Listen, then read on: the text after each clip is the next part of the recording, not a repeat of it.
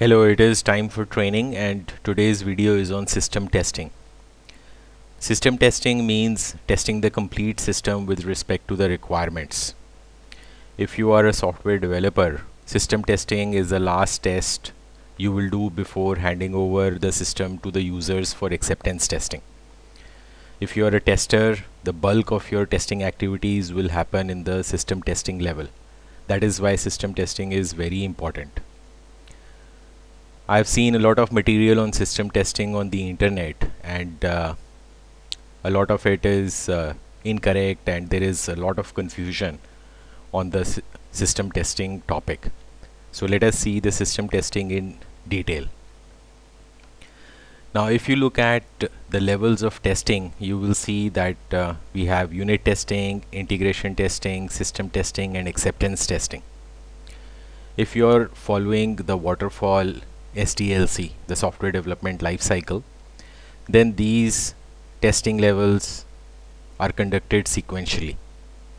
If it is uh, the agile software development lifecycle that you follow, then these testing levels can be in parallel for different parts of the software.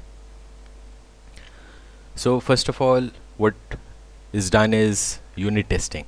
Unit testing means testing the unit or the element of the software and uh, the developer tests the unit by writing unit tests on it to check for things like uh, covering uh, statement coverage, branch coverage, condition coverage, etc. Then the next level is the integration testing. Integration testing is when the developers combine the different tested units and see if their integration points are working correctly or not. Whether they pass data from one unit to another and back correctly or not. System testing is done after integration testing is complete and system testing involves testing the functional and the non-functional requirements and once system testing is complete acceptance testing is done either by the end users or people who represent the end users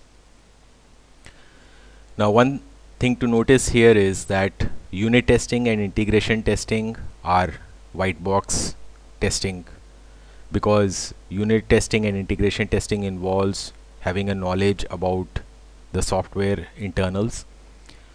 System testing and acceptance testing are a combination of black box testing and white box testing majority of the system testing and acceptance testing can be done in a black box fashion without knowing details about the internals but there are some types of testing done in system testing like uh, performance testing and security testing which do require knowledge about the internal of the software. But overall we can say that unit testing and integration testing are majorly white box testing and system testing and acceptance testing are majorly black box testing. Now let us look at system testing from a different angle. Now system testing involves testing of the requirements. There are two sets of requirements. One is the requirement specifications. Now requirement specifications can be in the form of uh, functional requirement specifications or user stories then there are system specifications. System specifications are the design specifications. So these exist in design documents. So in system testing, both these sets of requirements have to be tested. Now the requirements specifications basically indicate what is the behavior expected behavior of the system and the system specifications indicate what is the design of the system. So both these things are tested in system testing. Another way to look at system testing is the types of testing that can be done in within the system testing level.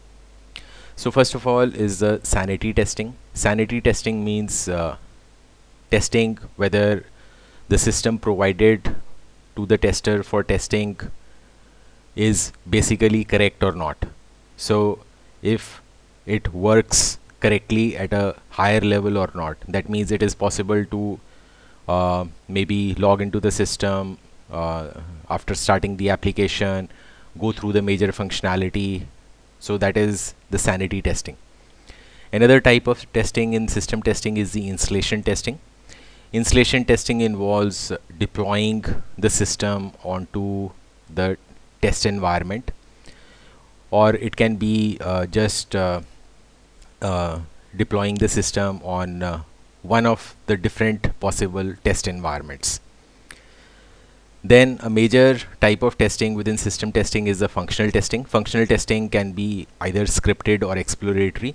Scripted functional testing means uh, using uh, pre-written test cases and executing those pre-written test cases. Exploratory functional testing is uh, working without the pre-written test cases. So the tester goes about designing the tests on the fly and uh, executing them to find out the defects. Then another type of testing in the system testing can be is the security testing. Security testing is uh, testing for uh, vulnerabilities or uh, some uh, uh, security issues security defects within the system. Then usability testing. Usability testing means how usable the system is from the point of view of a new user who is uh, not having uh, prior uh, experience with the system uh, how easy and efficient it is for a user to work with the system. And then there can be accessibility testing. Accessibility testing means uh, testing uh, on behalf of users who have some disabilities whether they have some sight disability or uh, they have some uh, hearing disability. So that is the accessibility testing.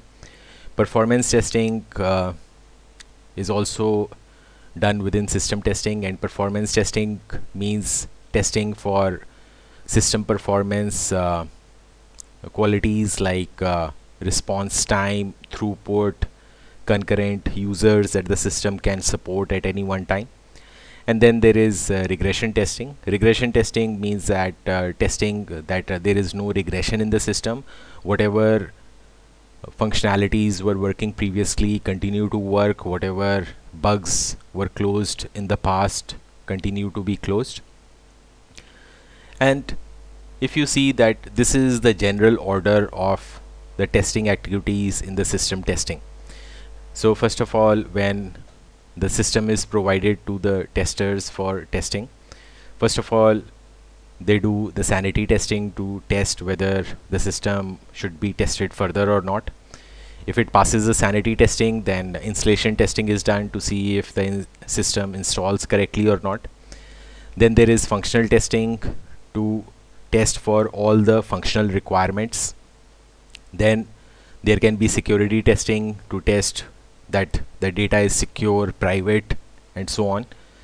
Then there is uh, the usability testing testing it uh, from uh, ease of use and uh, uh, efficient use point of view. Then performance testing to test for fast response high throughput and so being able to support the required number of users. And finally the regression testing is done.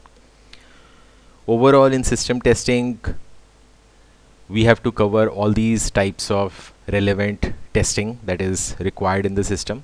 And overall the activities are first of all you create the system test plan. Then you create the system test cases create the required test data execute the system test cases and report defects and uh, test progress.